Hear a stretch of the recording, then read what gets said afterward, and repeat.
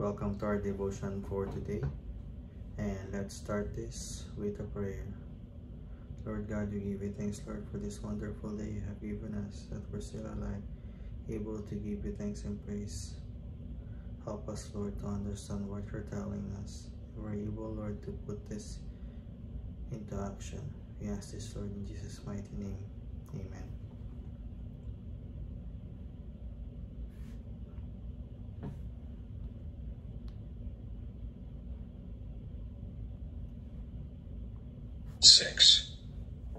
Praise the Lord. Give thanks to the Lord, for he is good. His faithful love endures forever. Who can list the glorious miracles of the Lord? Who can ever praise him enough? There is joy for those who deal justly with others and always do what is right. Remember me, Lord, when you show favor to your people. Come near and rescue me. Let me share in the prosperity of your chosen ones. Let me rejoice in the joy of your people. Let me praise you with those who are your heritage. Like our ancestors, we have sinned. We have done wrong. We have acted wickedly. Our ancestors in Egypt were not impressed by the Lord's miraculous deeds. They soon forgot his many acts of kindness to them. Instead, they rebelled against him at the Red Sea. Even so, he saved them to defend the honor of his name and to demonstrate his mighty power. He commanded the Red Sea to dry up. He led Israel across the sea as if it were a desert. So he rescued them from their enemies and redeemed them from their foes. Then the water returned and covered their enemies. Not one of them survived. Then his people believed his promises. Then they sang his praise. Yet how quickly they forgot what he had done. They wouldn't wait for his counsel. In the wilderness, their desires ran wild, testing God's patience in that dry wasteland. So he gave them what they asked for but he sent a plague along with it. Remember this a farmer who plants only a few seeds will get a small crop, but the one who plants generously will get a generous crop. You must each decide in your heart how much to give. And don't give reluctantly or in response to pressure, for God loves a person who gives cheerfully, and God will generously provide all you need. Then you will always have everything you need and plenty left over to share with others.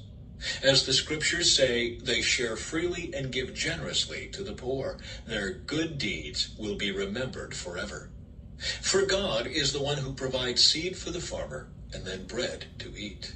In the same way, he will provide and increase your resources and then produce a great harvest of generosity in you. Yes, you will be enriched in every way so that you can always be generous. And when we take your gifts to those who need them, they will thank God.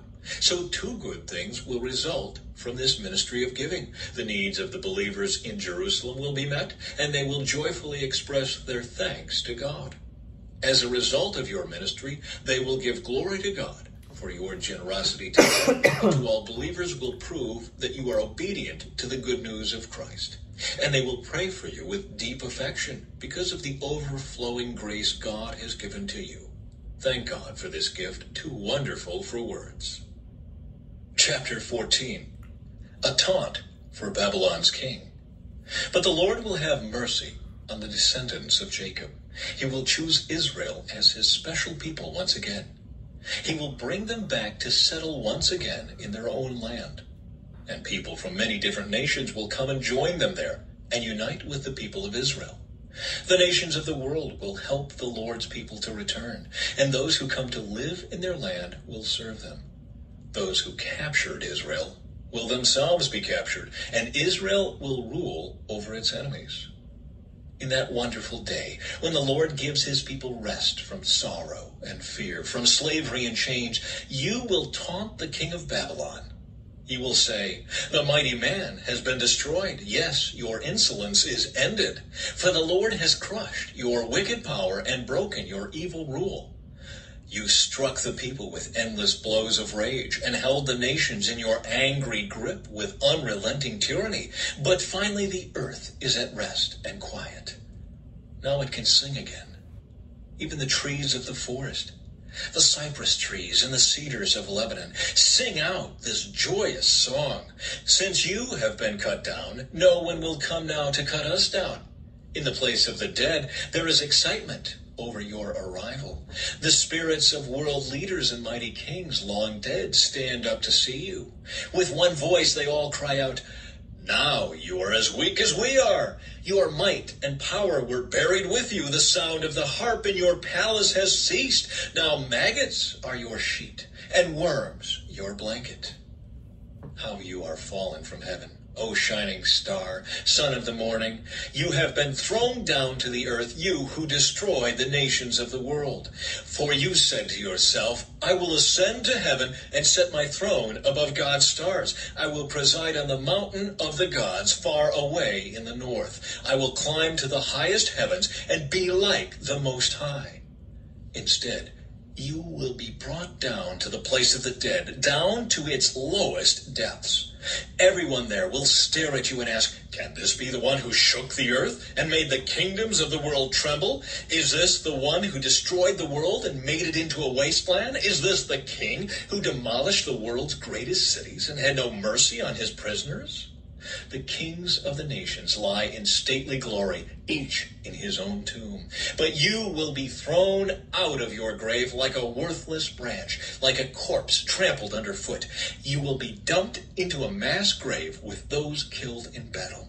You will descend to the pit. You will not be given a proper burial, for you have destroyed your nation and slaughtered your people. The descendants of such an evil person will never again receive honor. Kill this man's children. Let them die because of their father's sins. They must not rise and conquer the earth, filling the world with their cities. This is what the Lord of heaven's armies says. I myself have risen against Babylon. I will destroy its children and its children's children, says the Lord. I will make Babylon a desolate place of owls, filled with swamps and marshes. I will sweep the land with the broom of destruction. I, the Lord of heaven's armies, have spoken a message about Assyria. The Lord of heaven's armies has sworn this oath. It will all happen as I have planned. It will be as I have decided. I will break the Assyrians when they are in Israel. I will trample them on my mountains. My people will no longer be their slaves, nor bow down under their heavy loads. I have a plan for the whole earth a hand of judgment upon all the nations. The Lord of heaven's armies has spoken. Who can change his plans? When his hand is raised, who can stop him? A message about Philistia. This message came to me the year King Ahaz died. Do not rejoice, you Philistines, that the rod that struck you is broken, that the king who attacked you is dead. For from that snake a more poisonous snake will be born, a fiery serpent to destroy you. I will feed the poor in my pasture. The needy will lie down in peace. But as for you, I will wipe you out with famine and destroy the few who remain. Wail at the gates, weep in the cities, melt with fear, you Philistines. A powerful army comes like smoke from the north. Each soldier rushes forward, eager to fight. What should we tell the Philistine messengers? Tell them the Lord has built Jerusalem. Its walls will give refuge to his oppressed people.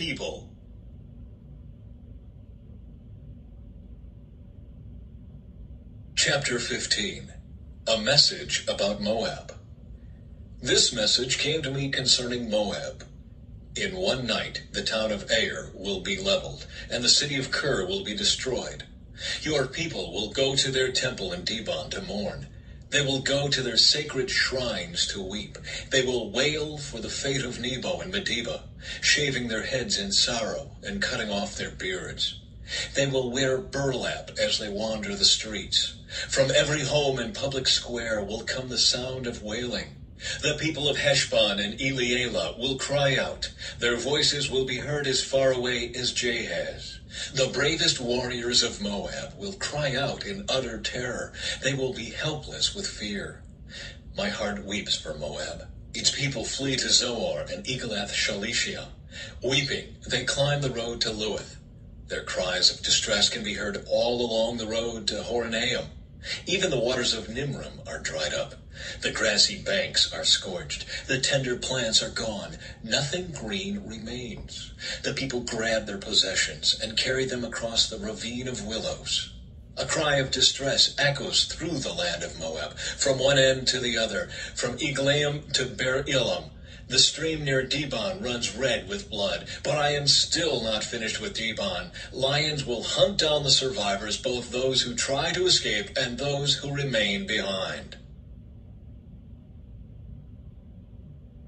Chapter 16 Send lambs from Sela as tribute to the ruler of the land. Send them through the desert to the mountain of beautiful Zion. The women of Moab are left like homeless birds at the shallow crossings of the Arnon River. Help us, they cry. Defend us against our enemies. Protect us from their relentless attack. Do not betray us now that we have escaped. Let our refugees stay among you. Hide them from our enemies until the terror is past. When oppression and destruction have ended and enemy raiders have disappeared, then God will establish one of David's descendants as king. He will rule with mercy and truth. He will always do what is just and be eager to do what is right. We have heard about proud Moab, about its pride and arrogance and rage. But all that boasting has disappeared. The entire land of Moab weeps. Yes, everyone in Moab mourns for the cakes of raisins from Kir Hareseth. They are all gone now. The farms of Heshbon are abandoned. The vineyards at Sibmah are deserted. The rulers of the nations have broken down Moab, that beautiful grapevine.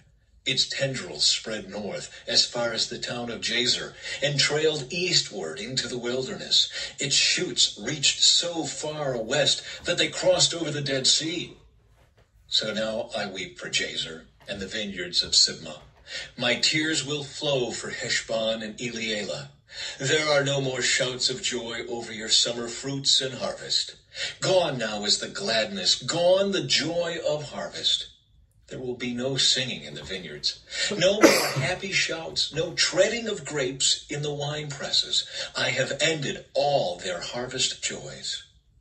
My heart's cry for Moab is like a lament on a harp. I am filled with anguish for Kir Hareseth. The people of Moab will worship at their pagan shrines, but it will do them no good.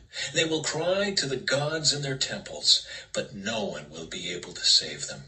The Lord has already said these things about Moab in the past, but now the Lord says, within three years, counting each day, the glory of Moab will be ended. From its great population, only a few of its people will be left alive. Chapter 6 Praise the Lord.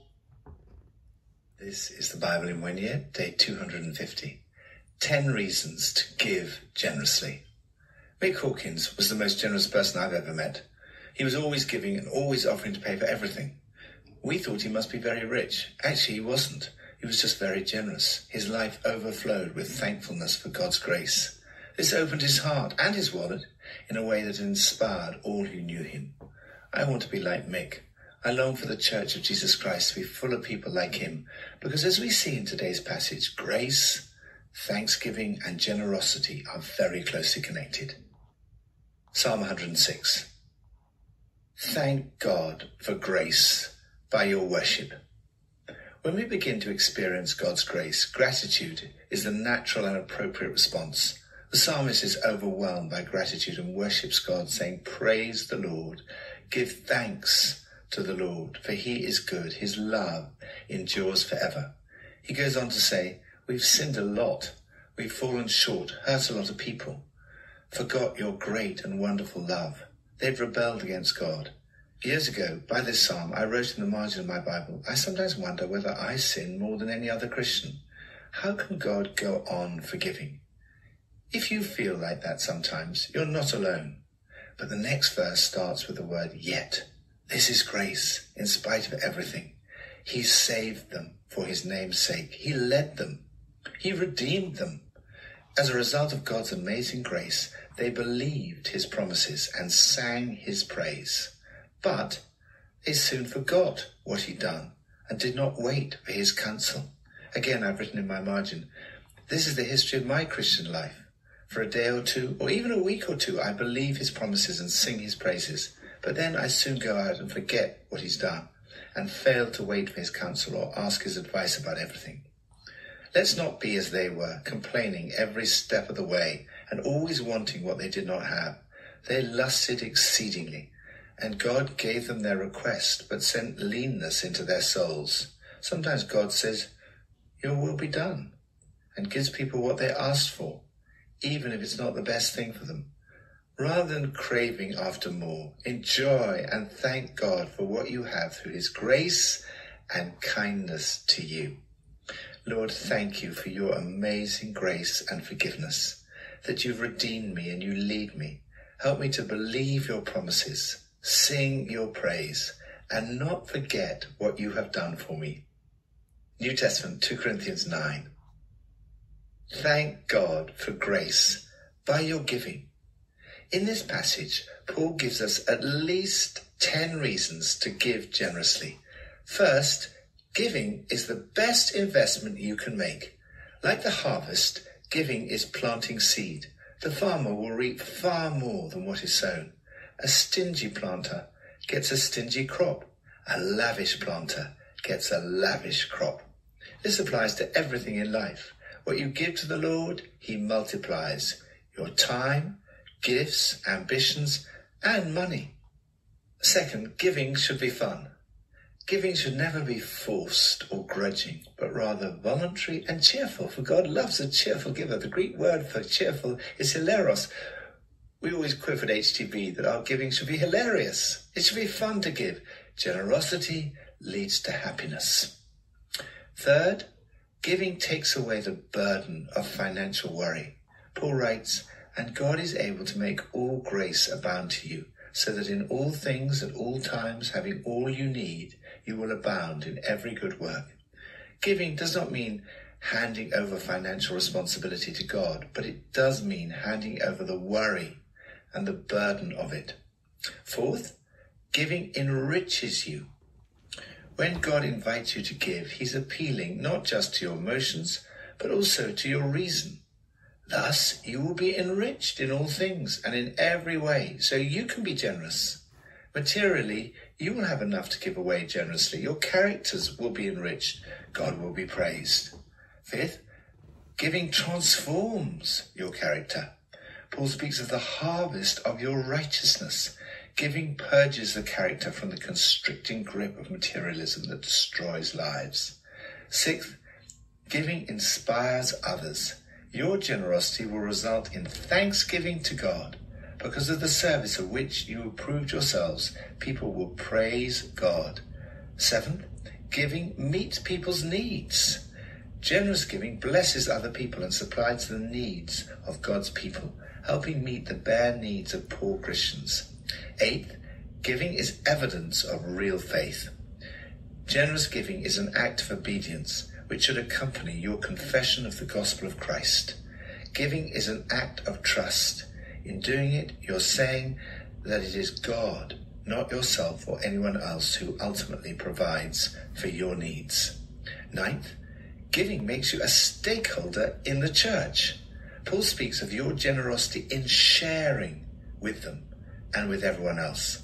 In the same way as when you share a flat or apartment, you share in the bills. As you share in the needs of the community, you reap the benefits of that community. For example, every time someone comes to know Christ through the community, you share in the blessing. Tenth, giving is a response to God's gift to you. God so loved you that he gave his one and only Son so that you might have eternal life.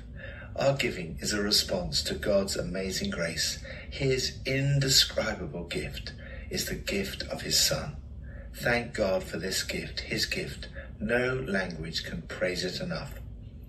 Lord, thank you for the indescribable gift of your Son, Jesus Christ.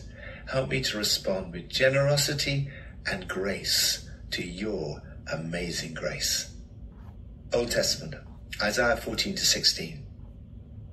Thank God for his grace in your life. How do we explain the evil of ISIS, beheadings, crucifixions of Christians and Yazidis, women and children sold into slavery? How do we explain, for example, the Holocaust, Stalin's exterminations, or the Rwandan genocide?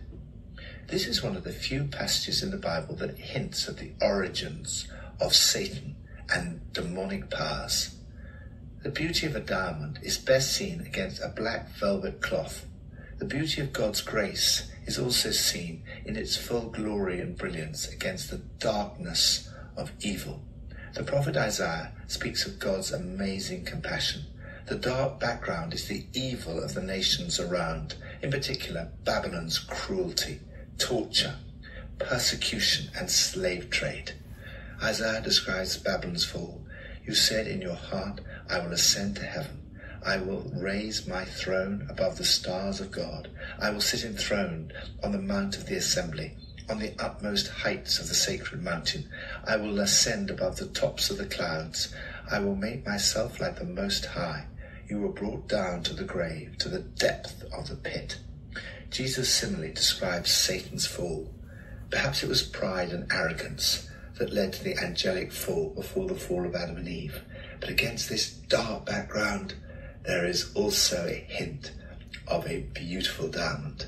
The tyrant toppled, the killing at an end, all signs of these cruelties long gone. A new government of love will be established. In the venerable David tradition, a ruler you can depend upon will head this government, a ruler passionate for justice, a ruler quick to set things right. Whatever the historical fulfillment may have been, there is only one person who perfectly fits this description Jesus the Messiah, born in the line of David, who brought together God's love and his justice, unlike the satanic I will. Jesus denied himself and said, Not what I will, but what you will. The only appropriate response to God's amazing grace revealed in Jesus Christ is to give him thanks with your worship, your giving, and your whole lives. To surrender your life to him and say, I'm willing to do whatever you want. Whatever you're facing, you can trust that God's purposes will ultimately be accomplished. For the Lord Almighty has purposed, and who can thwart him? Lord, thank you that we experience your amazing grace, love, and faithfulness in Jesus. Thank you that he seeks justice and speeds the cause of righteousness. Help me, like him, to have a concern for the poorest of the poor and the needy, and to give generously. Lord, thank you again for this time of worship, a time of devotion. Help us to really remember this and apply this in our life. We ask this, Lord, in Jesus' mighty name. Amen. Thank you again for joining us in the devotion and hopefully to see you again in the next one. God bless us all and bye-bye.